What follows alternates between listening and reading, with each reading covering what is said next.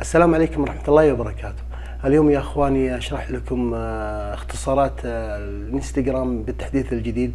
طبعا الكثير يسألني عن هذا الشيء كيف أخلي حسابي برايفت وكيف آه، أمسح سجل البحث إلى آخره.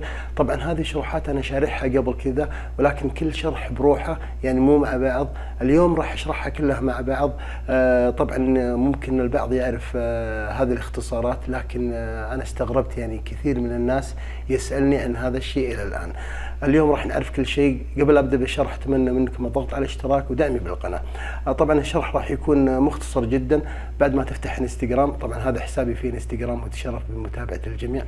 بعد ما تفتح إنستغرام ندخل على الإعدادات. الشكل الجديد نضغط على هذا الخيار من هنا وبعد كذا تطلع لك هذه الخيارات. من الأسفل نضغط على هذا الخيار من هنا وندخل على الإعدادات. بعد كذا تفتح لك الإعدادات من هنا. بالبداية إذا كنت حاب آه، تشوف الصور اللي أنت معطيها like نضغط على هذا الخيار من هنا. وتظهر لك جميع الصور والمقاطع اللي أنت معطيها like. آه، بعد كذا إذا بغيت تمسح آه، سجل البحث نضغط على هذا الخيار من هنا. ومجرد ما نضغط على هذا الخيار كذا يطلع يسألك يقول هل أنت متأكد مسح سجل البحث؟ نعم متأكد. نضغط على هذا الخيار وبكذا يتم المسح يتم مسح سجل البحث في انستغرام. آه بعد كذا طبعا هنا اللغة طبعا الآيفون ما يدعم اللغة العربية. آه هنا إذا كنت تبي حسابك يكون private نضغط على هذا الخيار من هنا ومجرد ما تفعل هذا الخيار راح يكون حسابك مقفل يعني private. ما يشوف الصور والمقاطع آه، والمضافين عندك إلا اللي يتابعك. آه بعد كذا إذا كنت تبي آه تشوف اللي أنت معطيهم block يعني حظر نضغط على هذا الخيار من هنا وتظهر لك جميع الحسابات اللي أنت معطيها حظر.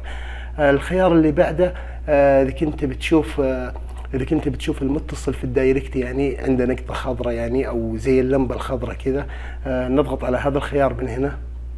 مجرد ما تفعل هذا الخيار راح راح تعرف منو الموجود في ال direct وهم برضو يشوفونك إذا كانوا مفعلين هذا الخاصية.